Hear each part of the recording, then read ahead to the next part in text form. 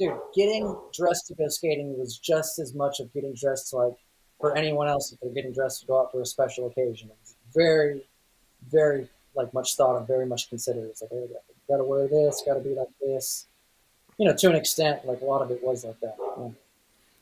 I was completely oblivious to that aspect of your skating. Besides the shirt on the head, I think I was oblivious to the rest of the fashion style. Unless that was part of the fashion.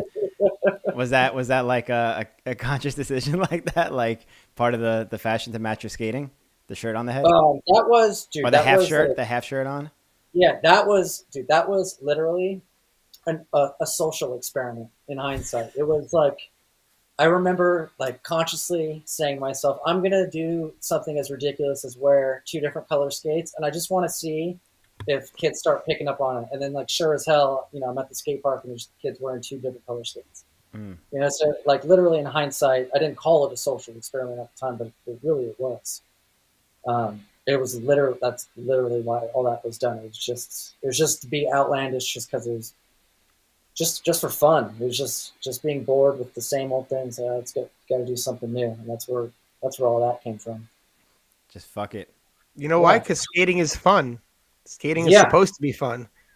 Yeah. All the best. Yeah, I'm sure as you guys can attest to, all the best things from skating. It's like they, they come from having fun. It's like all like a lot of like the tricks that I ended up doing for years like came from like us skating together, experimenting with with an obstacle or like a concept that you could do only on that obstacle, to, and then that develops into a trick, and then you refine that trick, and then suddenly you're doing some shit no one thought of. Mm-hmm. You know, it's all about having fun with your friends, and then kind of thinking outside the box, literally playing. with your kids out, play on the playground, think of some weird shit to do, and then you say, "Oh, that could be kind of cool." And then you refine it. You know, you kind of get more comfortable doing that, and you put your stamp, and you, know, you instill a little bit of confidence in that maneuver, and then suddenly you got something new. For sure. That was that's per- that, that's the formula. That is the that, formula. That's what's always worked for me. It's just having fun.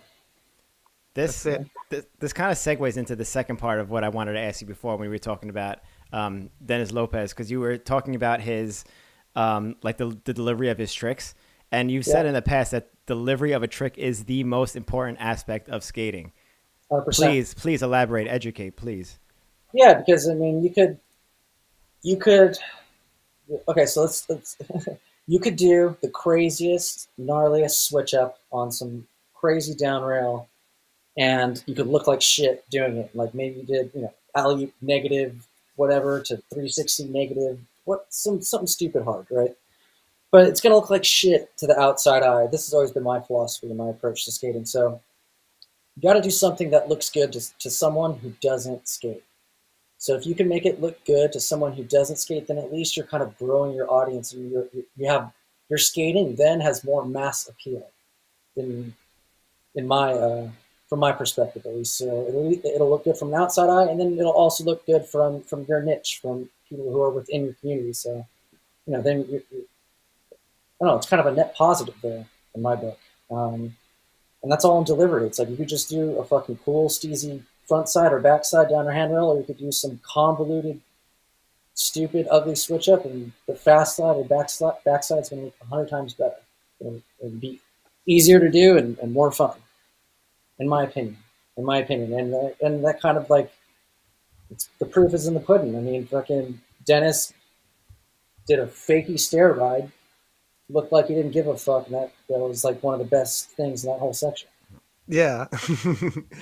No, right? it's, it's, yeah, no, totally. It's cool. Like all the attitude, all yeah. on his attitude. Yeah. Mm-hmm. Bomb as fuck. Now delivery is is so important. Like the yeah. approach, the landing, and yeah, it's something like yeah, you you definitely talked about for a long time, and I think there was like a lot coming into like how you would approach tricks too, like and come off yeah. tricks. There was like a lot to it, and that's cool. Like that to have that perspective makes sense now for to like attract people outside of skating to like make them understand it and what's possible you know yeah and it's like you like i think going back to well your comment right now about everything before and after the trick you have to think like where are you spending the most time on your skates it's on the ground so why are you putting the least amount of time into that it's like 50% of what's being filled if not more is you skating up to it And you've got you know two seconds of your grind or you know, longer if you're doing something longer or whatever. and then the, and then your exit. It's like those are all like you're you're overlooking like the like the two biggest parts, and so yeah, that's where that started. It was just if if we're spending most of our time on the ground, then why not focus on on on that part of it? You know, it seems pretty important. Mm-hmm.